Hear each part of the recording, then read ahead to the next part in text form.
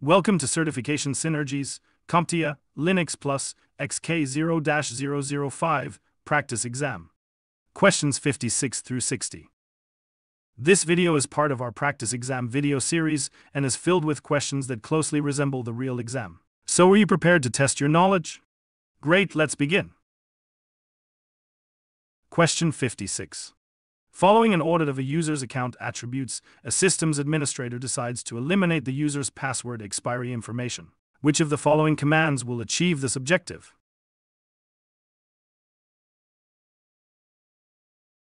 The answer is D. Change age, dash e, minus 1. The change age command is primarily used to manage password aging settings for user accounts. When used in conjunction with the dash e option, it allows administrators to set or adjust the expiration date for user accounts. Setting the expiration date to negative 1 effectively removes any existing expiration date from the account, ensuring it remains active indefinitely. Question 57.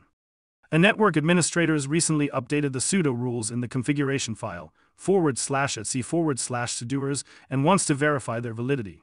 Which of the following commands will perform this task?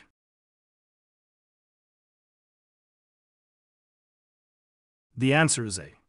vi sudo dash c. The command visudo allows for secure editing of the sudoers file, a critical aspect of system administration. By including the dash c option, the vi sudo command is instructed to conduct a syntax check on the sudoers file without making any modifications. This process allows the network administrator to identify any errors or inconsistencies in the sudo configuration, ensuring that the rules adhere to the correct syntax and structure. Question 58. A developer has created a private public key pair on their development machine.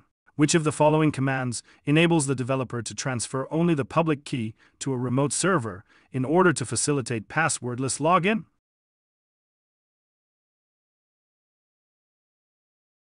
The answer is D. SSH copy ID user at server. The command SSH copy ID user at server simplifies the process of transferring the public key to a remote server and configuring passwordless login. When the developer executes SSH copy ID user at server, the command automatically transfers the public key from the developer's workstation to the specified remote server. Additionally, it adds the public key to the authorized underscore keys file in the user's home directory on the server. Question 59. A system administrator has recently set up a new file system and wants to ensure it automatically mounts upon system reboot. In which of the following files should the administrator add an entry to fulfill this requirement?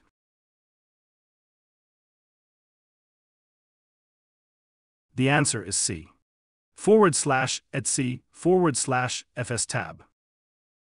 The forward slash etc forward slash fs tab file is responsible for managing file system mounts during system boot. By adding an entry for the new file system in the forward slash etc forward slash fs tab file, the administrator ensures it automatically mounts upon system reboot, eliminating the need for manual intervention. Question 60. A new systems administrator just installed an unapproved package using the DNF package manager. Which of the following commands should the new administrator use to promptly list and remove the unapproved package?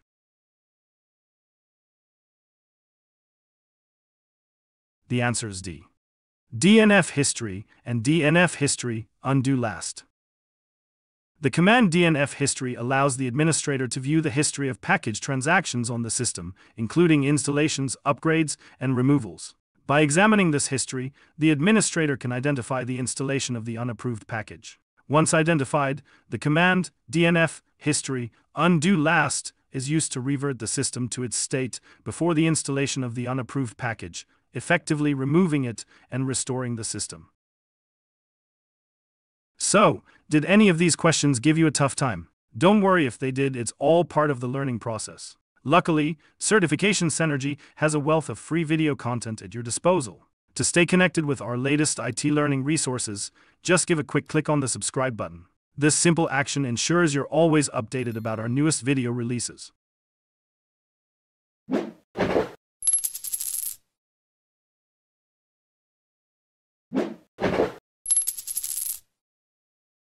Thank you for watching. Subscribe for more great content.